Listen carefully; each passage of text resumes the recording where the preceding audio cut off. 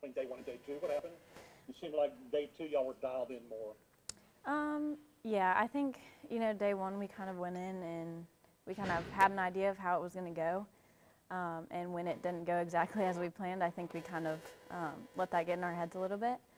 Um, and day two, we just came in and, and we were going to fight all the way through, and that's what we did. And so I think that's the difference that you saw. And, you know, it showed in the score, but it also showed in our gymnastics and just like helping us build confidence as a whole. So. What do you take from saying? Uh, what, what do you, Sarah kind of mentioned this. Obviously, the all-rounders. There, were- there were a couple of missed routines uh, over the regional, but then again, y'all had other people step up and and really uh, respond when it's like, okay, you got to perform, or we're going to have a bad score on this event. So, and y'all, y'all did that. Uh, so, how, how, what do you what do you take from from that for nationals? Um, yeah, I mean, obviously, two days in a row is harder than one day, but there's a reason that we have six people and only five scores count. And so I think, you know, all year that's the same. And so you obviously want everyone to do their best, but um, that doesn't happen all the time. And so that's why we have an extra person.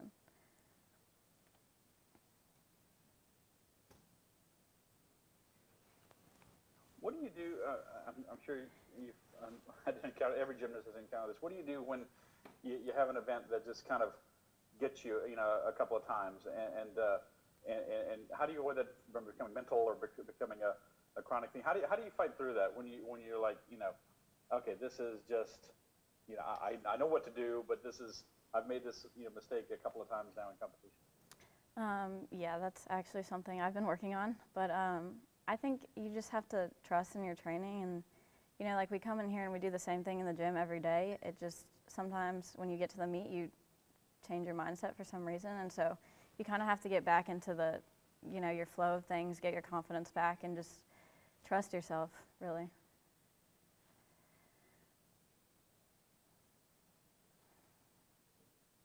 I guess now that you're at the finish line, what are your thoughts? Uh, it's kind of been a wacky season like any other. And, um, you know, now's your chance to, to close it out. Um, yeah, I mean, I'm just grateful that we got to have a season. We weren't really sure about that, so that was nice. And um, just making it as far as we have and having the opportunity to go win a national championship is amazing. And so I think we're just going to make the most of it.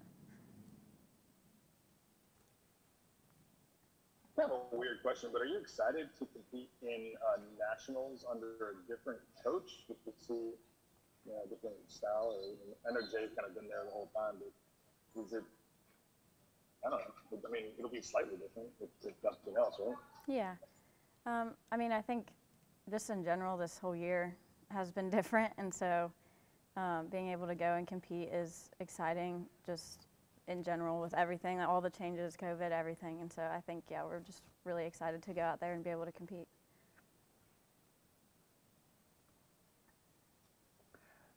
Uh, Sami, what, um, what, what, okay, now, it's, now, it's another, the, the postseason, the meets are all kind of the same with the, with the, the, the podiums and the, uh, maybe not podium in Salt Lake City, but the, all the routines going on at the same time, and, yeah, how, how prepared are you guys, you, you think overall with the younger gymnasts, the, you know, you count a lot of younger gymnasts, uh, you know, in, in your lineups, to, to, uh, how prepared are you for that now, you think?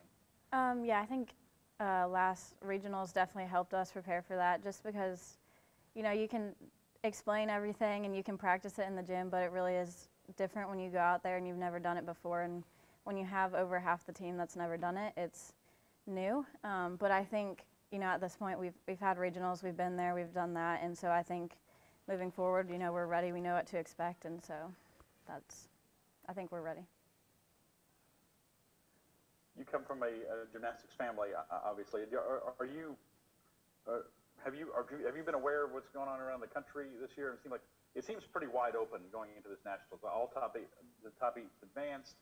Y'all are one of a handful of five or six teams that's gone 198, but there's there's some capable teams below you too. Obviously, it seems like whoever is hot and hitting for two days is going to advance and going to win. Uh, you have any thoughts on that? Um, yeah, I mean, I think you know that's kind of the point at this point in the season is just to see who's the best, and um, it really does come down to that one day and who has their best day, and um, maybe who doesn't. But you know, I think everyone's excited to go. Everyone's had the same season that we have, and so I think everyone's going to come in hot and fighting, and so we're just going to do the same thing.